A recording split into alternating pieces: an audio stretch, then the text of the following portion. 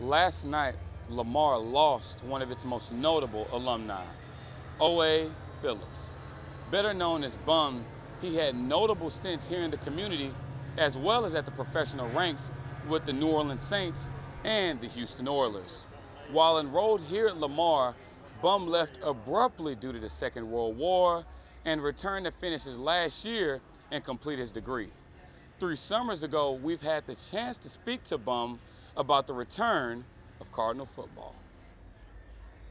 I think I think it's a great deal because football gives people a chance to to come together and get behind something that, that they care about. And, and and not having football, you know, it just it's just a blank spot on your campus as far as I'm concerned. I mean, those kids that are going here to get an education need something besides just classroom. They need experiences together and pulling for somebody and being for something or, or against the other team. I mean, they they need things besides classroom stuff to make them educated. And I think having competitive sports like football is important. So all you Big Red fans, help us today to celebrate the life of Bum Phillips, a true Lamar legend. And Earl Campbell said it best.